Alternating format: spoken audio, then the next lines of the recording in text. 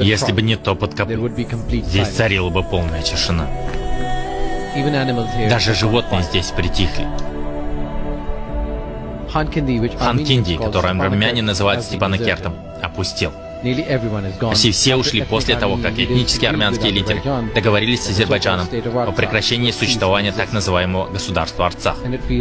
Такое ощущение, что все просто встали и ушли. Центр города усеянный тем, что люди не смогли унести с собой. Собрались тысячи людей.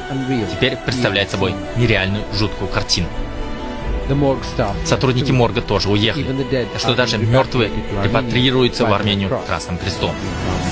Мы рассчитываем, что и дальше будем находить других людей, еще застрявших на данный момент в этом месте, на окраине города. И поэтому у нас э, есть еще одна проблема, связанная с тем, что сельские районы еще не были охвачены нами. Улицы совершенно пусты.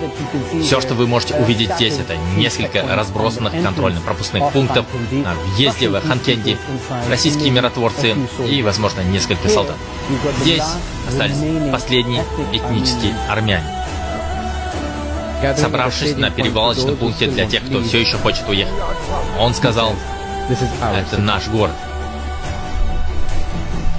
Это также место, где те, кто остался, прощаются с нами.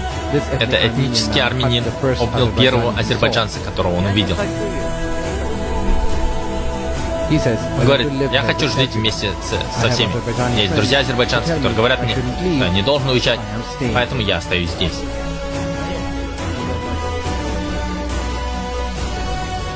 Администрация говорит, что она открыла регистрационный центр, предоставила машины скорой помощи, обновила мобильные сети и подключила город к электросети. Но несколько оставшихся людей все еще нуждаются в неотложной помощи.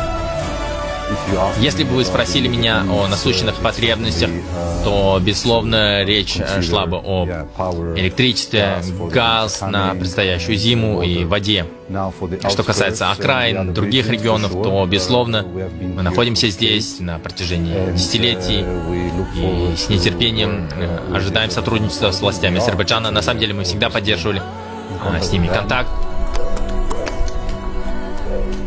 И для того, чтобы у этого города было будущее, ему понадобятся люди, чтобы заполнить пустые улицы.